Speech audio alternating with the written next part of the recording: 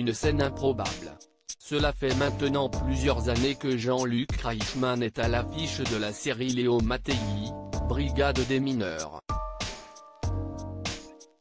Celle-ci est diffusée sur TF1 et il interprète le rôle du commandant Léo Mattei.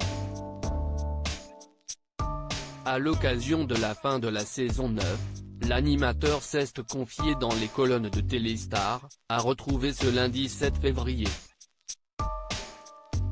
Pour cette nouvelle saison, il a eu l'occasion de travailler avec son épouse, Nathalie. Elle est à la base de l'artistique, les textes, les thèmes, le casting, etc. Et moi, je monte et je redescends à la chaîne pour communiquer nos propositions, a-t-il d'abord expliqué avant de préciser on est très complémentaires. Par la suite, Jean-Luc Reichmann a mentionné la dernière soirée qui, selon ses propos, risque de surprendre les téléspectateurs. La raison? Une mise à nu totale de tous les personnages, autant physiquement que moralement, puisqu'elle m'a filmé tout nu, a-t-il révélé. Une séquence très inattendue, à découvrir prochainement.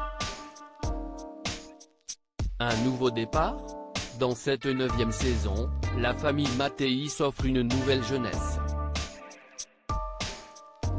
En effet, Jean-Luc Reichmann explique que, depuis que Mattei a réglé ses problèmes avec sa fille, on avait envie qu'il s'ouvre avec une autre famille, celle de la brigade des mineurs, avec une toute nouvelle équipe et de nouvelles têtes, a-t-il indiqué.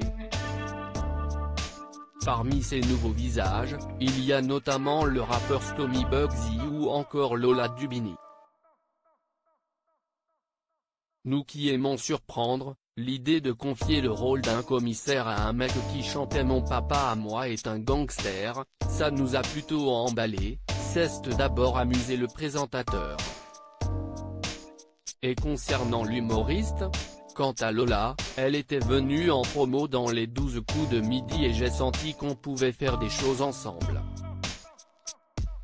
En l'entendant raconter ses combats et ses fêlures par rapport à la grosse Sophie, j'ai vu ma petite sœur, a-t-il conclu. Léo Mattei, quel autre personnage va faire son apparition?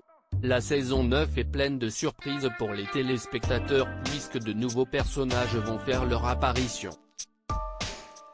Parmi eux, il y a également Donna, la chienne de Jean-Luc Reichmann.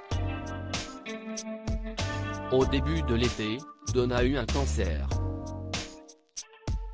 Le vétérinaire l'a disait condamné mais on a rencontré des gens pour lui donner une seconde chance, a-t-il d'abord confié.